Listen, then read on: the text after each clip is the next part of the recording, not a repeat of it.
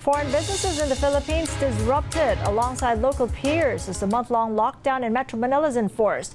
Well, with us now for more is Emmanuel Jocot de Dios, the CEO of GE Philippines. He is also GE's Managing Director for Government Affairs and Policy covering Asia Pacific and one of the chairman of the Energy and Power Committee of the American Chamber of Commerce Philippines. Good to have you back on, Jocot. Welcome to the program. Morning, Kathy. How are you? Long time no speak. Yeah, long time no speak. I'm good, thank you, despite the circumstances. So, how is GE Philippines holding up amid the enhanced community quarantine? What's been your business continuity plan? Yeah, well, thanks for asking.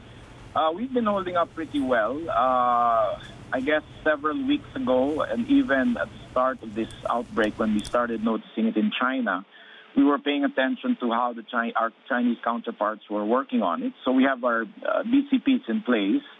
Uh, but we, however, continue to service our critical customers. You know, we have uh, healthcare customers, uh, hospitals, uh, both government and private. We have our energy uh, projects for energy business as well. So while we've uh, really uh, implemented the work from home even before the announcement of the president, we're actually working with the government agencies to ensure that we are able to uh, provide much needed services, critical services. So, and we do so. We do uh, follow the Department of Health uh, strictures on, you know, how to take care of ourselves and, and be as safe as possible. Is there enough clarity on how the lockdown in Metro Manila is uh, being implemented 48 hours on, or are there still unanswered questions from your end representing foreign investors doing business in the Philippines? Uh, I mean, speaking as a as a uh, company, we feel that uh, you know, given this crisis, uh, and given social media, and given the gravity and the speed by which it has accelerated, I think we're in pretty good, decent shape. Uh, although obviously several some other sectors may feel that uh, you know the rules and regulations or, or the measures being suggested and implemented do not provide as much clarity. Understandably so, because in a situation like this, uh, government and private sector, private companies are, are hard pressed to actually think of the smallest details.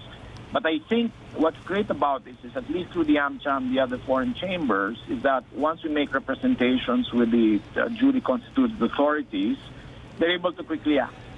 So I think that's the good thing. I think we've, we've hit our stride. The government has hit its stride. I think there's an initial shock over the last couple of days when this all started. But I think there's a bit of a rhythm and a rigor now.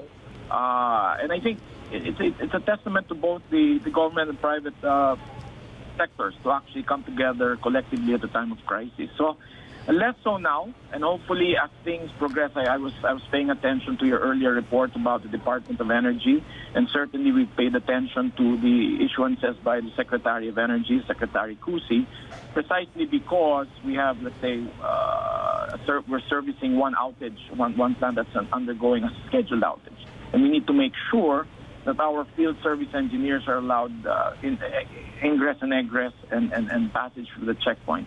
So it's getting better, uh, Kathy.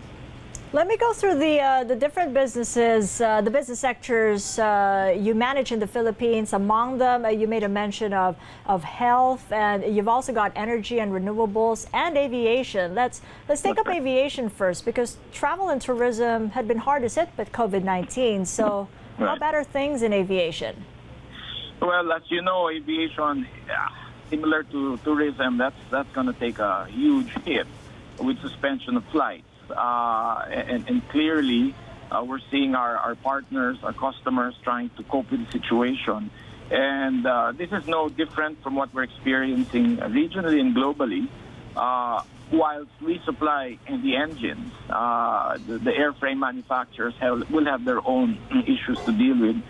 But so far, uh, as far as we're concerned, we stand by ready for any potential uh, uh because uh, issues that may that, that some of the airlines might uh, encounter. For example, international flights will still continue as per our understanding, and certainly we are standing by to service airplanes that may have some uh, you know maintenance issues as well.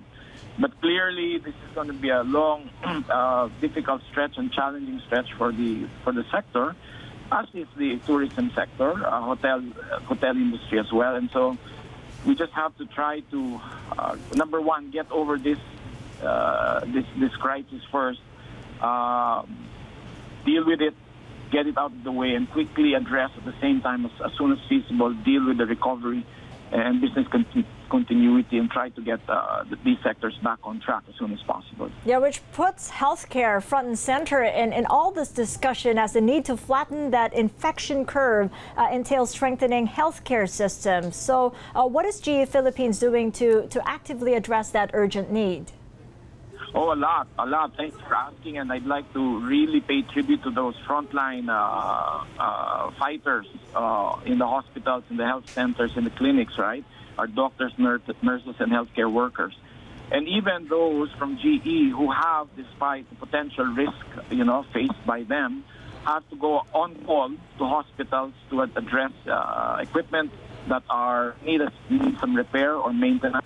Could be anything from ventilators to x-ray machines to other diagnostic imaging machines. So while the rest of the team, uh, the G team, are really working from home, we've carved out an exception for our healthcare workers who are standing by ready to service this equipment uh, and really go to these hospitals to, to, to support, not because uh, at this critical time, we really need to, to pull through and make sure equipment, uh, the equipment that we have out in the field do not break down. So it's a commitment that we have given our customers. So quietly, we engage with our customers and, and obviously uh, beg for indulgence if, for example, there's a bit of delay given, you know, checkpoints and, and, and we need to, in the fact, we need to justify the travel of our folks around. And obviously, we need to make sure each and every one of us is safe. I mean, just uh, sharing a best practice we have across the different businesses. Every morning, each of the, the uh, business lines, the leadership team, will, will, will have each of the employees report the health status of themselves and their families so that if there are any potential issues, this is addressed right away. And obviously, our healthcare uh, colleagues are uh, no exception to that. And in fact, we have to be a little more vigilant with them as they enter these hospitals to address these issues. So all, all good. Uh, we, we, are we're used to these situations, and, and we're experiencing this across the region as well, uh, Captain. Do you think we have enough ventilators? Because that's already cropped as a problem overseas, the lack of ventilators because of people needing them. That's a, that's a great question. And, and uh, across the, the region globally, uh, obviously supply chains uh, of this nature are being tested. In fact, this evening we will have a global call to precisely address supply chain issues because, as you know, GE as a, as a, a global conglomerate has uh, supply chain um, hubs across the world. And China is one of them. We, we manufacture healthcare equipment in China, in Japan, in Europe, in the U.S. So it's meant to actually address, and the call tonight is meant to address a sharper focus on how to bring equipment uh, to the field. So far in the Philippines, uh, no such grave issues uh, which is good and positive. Uh, but obviously, we have to pre- prepare for that contingency. We're seeing this in other countries as well.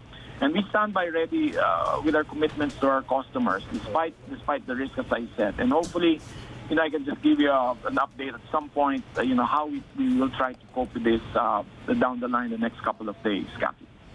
As to uh, power and renewables, because that's also one of your business sectors, how is the outbreak disrupting deliveries of GE Philippines critical equipment? Uh, the Philippines Power Grid operator, uh, for one, said that it's affecting some of its projects. Yeah. Well, uh, so far, as I mentioned, we have a couple of projects. One of them is a rehabilitation of a hydro facility, and that's ongoing. Uh, we have our employees and our contractors actually inside the fence. So they're actually quarantined there. Okay. Now, with respect to the the other, the second project, which is an outage management project, uh, we continue to provide work, obviously subject to the restrictions of uh, the customer themselves. But obviously, we're trying to get this facility back on online. So as far as we're concerned, we, we have we have a call daily, uh, pretty much with the teams, and as of yesterday, no issues. Now, uh, not sure about the other projects. I would suppose these are new projects that are coming on stream. For your information, the Department of Energy actually had requested all the GENCOs to actually provide a program of uh, scheduled maintenance and outages, which they're obliged to do and follow in anticipation of the hot summer months when peak demand is very high. Uh, so that's a great move on the part of the Department of Energy to uh, uh, try to anticipate that. But as you had reported earlier, demand is, uh, has, has dropped significantly in the Luzon grid uh, over the last couple of days. In fact, I was checking with, with the Department of Energy. You know, our peak demand at the start of March was 11,103 megawatts in Luzon. It was down to like 7,700 7, 7, uh, 700 uh, megawatts two days ago. So that gives us a bit of a reprieve that there's no strain on the um, uh, grid. Uh, and uh, I think NGCP continues to monitor this. Meralco, I know, it's 24/7. If they have any issues on the on the distribution grid, they'll address. So I think we're, we're safe so far. Once we come out of this, we just have to anticipate the surge in power demand uh, and the stress that might place on the grid. So we just have to be uh, conscious of that. Yeah, I was just going to say, uh, I was missing on reporting on those yellow alerts and red alerts that typically come at this point in time as the summer heat rises. Jocot, thank you so much and keep well. Much appreciate the time and the sharing there.